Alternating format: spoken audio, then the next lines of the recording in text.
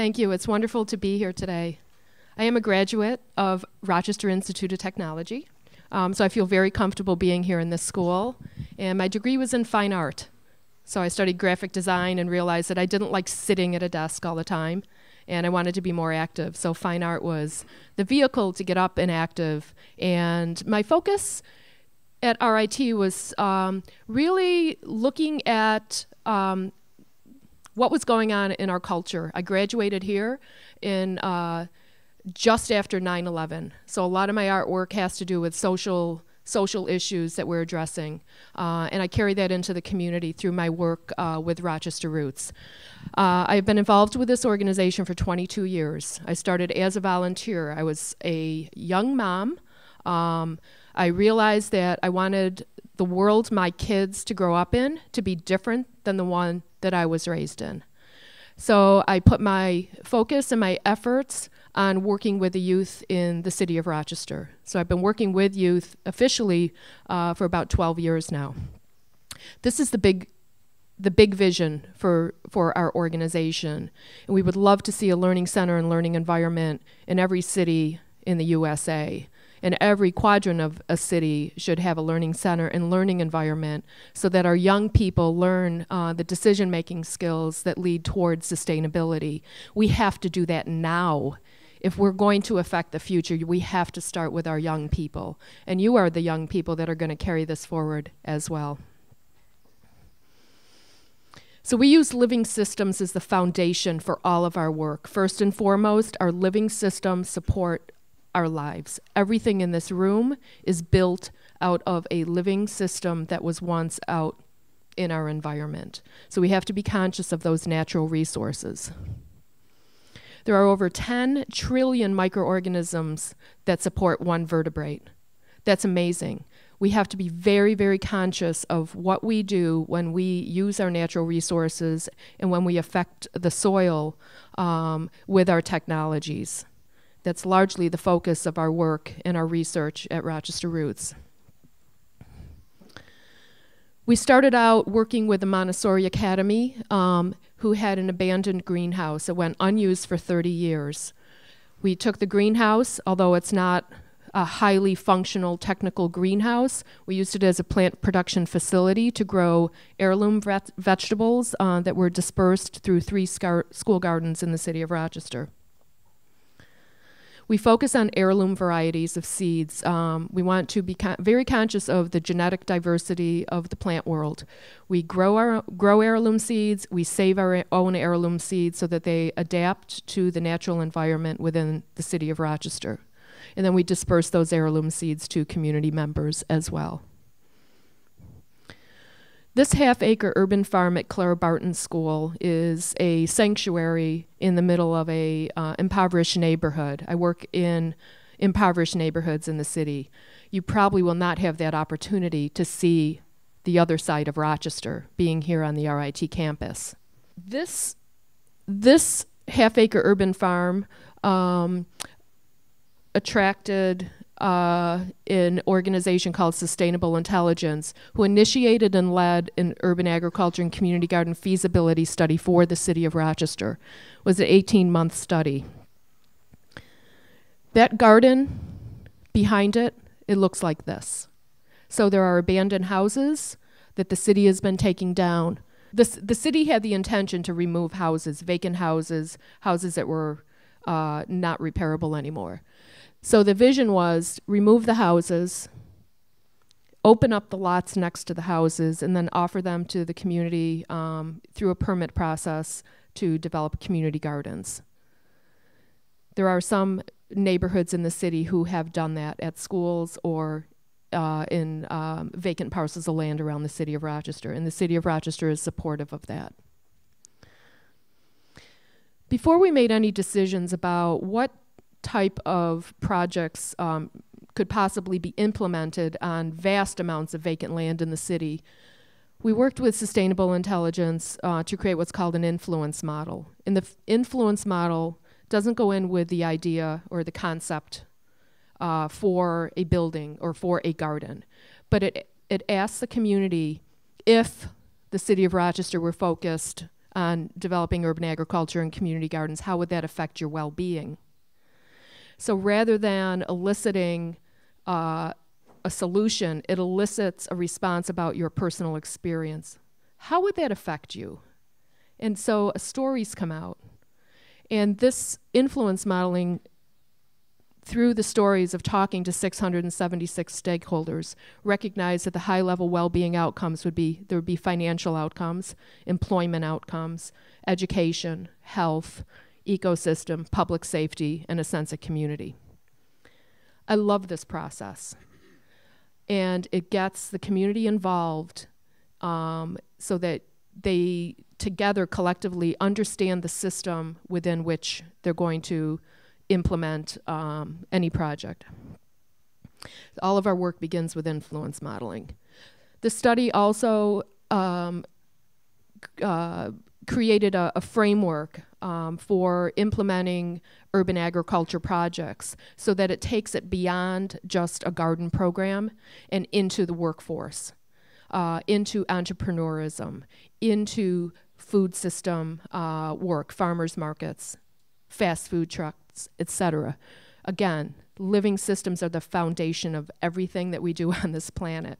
So you can start with growing food, but it inevitably it leads to um, skill building. It leads to product development. It leads to health and nutrition, careers, etc.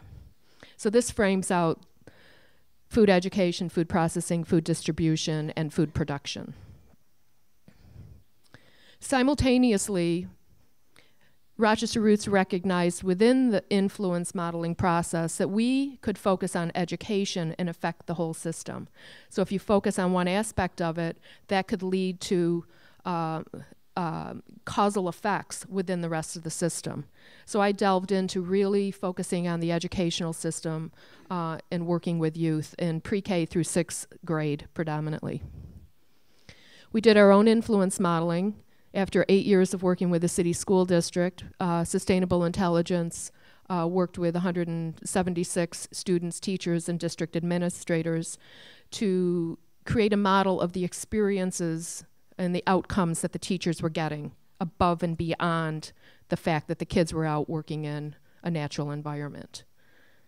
This became the foundation for building a learning center, for designing a learning center. So rather than going in with my high idea of this is what has to be in a learning center, we sought first to understand the system that we could impact and then design the learning center around that. This learning center contains 12 laboratories that can help to address um, decision making for well being, social systems, uh, educational systems, et cetera. New York State Department of Agriculture Markets found that very interesting and funded uh, the design of the learning center and, and or the learning environment. Together, on two acres of land, we can demonstrate the entire food system and begin to uh, retrain um, or create uh, a better cultural cognition around sustainability through that first interception with with the food system. So this learning center contains 24 uh, indoor or 12 indoor and 12 outdoor laboratories where the community can learn about a wide variety of um, uh, projects. In the Clara Barton School Garden, we were also donated a high tunnel. Uh, high tunnel is used to extend the growing season and, and is especially necessary in a, a northern climate like ours, where uh, we have snowfall what seems like half of the year. So we want to be able to extend that growing season. In the community, uh, well, we, we all worked together to build this high tunnel, but the community um, poked holes in the plastic. So allowing air to, to be released, allowing heat to be released. So RIT got attracted to this project and worked with us to design uh, an adaptable, what we call our adaptable high tunnel, that could withstand an urban environment as opposed to a rural environment where you wouldn't necessarily have the community interacting with, with a high tunnel. That started down the track of working with RIT, uh, Kate Gleason School of Engineering, on year-long student projects uh, called the uh, Multidisciplinary Senior Design Team projects. So over the course of a year, uh, we worked with RIT and students to design a high tunnel. Now, when you take a living environment and apply technology, you've you've now disconnected the living environment through the technology. So where there used to be rainfall on the garden, you know, it's great that we wanted to extend the growing season, but when there's no rainfall on the garden, then you have to bring municipal water to it.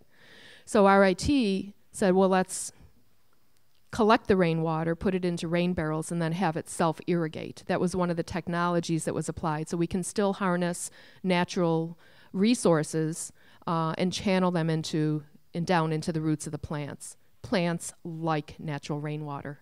They don't like municipal water, and they react differently. We then, with Montessori Academy, uh, have two year long projects uh, where uh, the fifth and uh, the third and fourth graders, yes, third and fourth graders are working on a uh, um, horticulture. It's like a controlled laboratory in the classroom where they can actually take soil samples or contrast and compare soil types or seed types within the classroom, and then notice um, the differences. Are is is using one type of soil going to create more nutritious vegetables as opposed to using another type of soil. So this is a test lab that we'll actually have in our classroom at the end of May that is designed and built by RIT, but working with my students on that. We also have a product, a product um, that's made from calendula flowers and comfrey in the garden. So my fifth and sixth graders were tasked with designing a new product and then having RIT build a uh, lip balm and skin salve assembly line so that they can process and scale up their product development.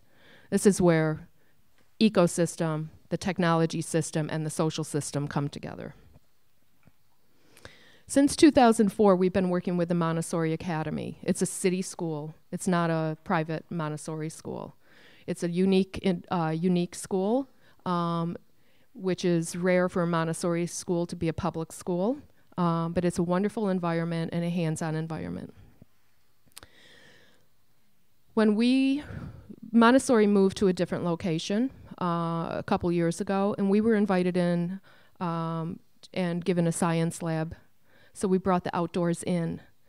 Another way, we had to now engage with technology in a living system. So the social system with the ecosystem and a technology system indoors. So we're learning how to adapt and change um, to being indoors with living systems. To begin that process, we started with modeling. We developed curriculum frameworks. So this one in particular is on how can a student develop through a soil-based activity.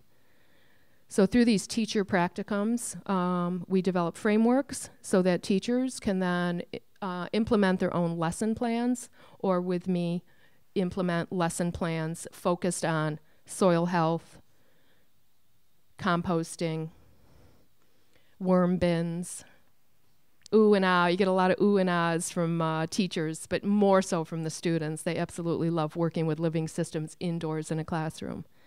Soil dyed T-shirts so they can understand these um, soil, texture of soil, dyes in soil, colors of soil, how soil changes across um, the geography of the nation. We brought in Cornell University to do a two-day conference called No Soil, No Life. So soil is key, um, again, to all our lives. Soil and the living systems within soil is key to our lives. We cannot forget that. We will, we will eliminate our populations without soil. so we have to be very mindful of soil. So we wanted to learn from the experts about how to take urban soils that have been depleted, that may have toxins and contaminants, and change them into healthy soil that's going to grow food and that's going to be smell good, help your community smell good, and et cetera. So we went through two-day workshop with Cornell and, and Rochester City School District teachers. In our Bringing Science to Life After School program, we collaborate with Montessori, te- uh, universities, uh, businesses, PhDs, and we all work together uh, on entrepreneurial projects. This is our urban sustainability laboratory at the Montessori School. It was a high school, and now it's been adapted for an elementary school. In order to solve the wicked problems of sustainability, these reoccurring problems, we always have to be mindful of social systems, ecosystems, and technology systems, and they co create and co evolve together. You can't have one without the other. And we do see economics as part of the social system rather than as a separate system on its own. W- working with students, I, I do influence modeling with students as well, and I can do that with uh, three year olds, and I can do that with six year olds. I can do that with 12 year olds. I can basically do that with anybody just by asking a question What is a system of science? And then I listen and I record, and I allow the entire community that I'm working with to provide their input. And together we create this collective model of what to them is the system of science. What to them is the system of the red wiggler? What to them is the system of natural resources? And where are all the connections between our ecosystem, our social system, and our technological system? What is the system of papermaking? So I'm asking these questions at every class, before every class. Whatever we're going to focus on that day, we start with a model. Subash is going to be presenting the community challenge, and he's going to be talking about the student entrepreneur projects. Students can make models as well. This is a model of lip balm system from a child's perspective we uh, have the students go through something very complicated, may look complicated to you, but young students are already system thinkers. They can, they can go through a sustainability framework. During your challenge, you will have this to fill out. So we want you to look at this and use the system that third through sixth graders are using. We're also working on system dynamics modeling. Um, Naveed Najari from Arizona State University is here, and he'll be teaching a class at 1 o'clock, presenting the abstract and the research that we've done on system dynamics modeling with uh, third through sixth graders.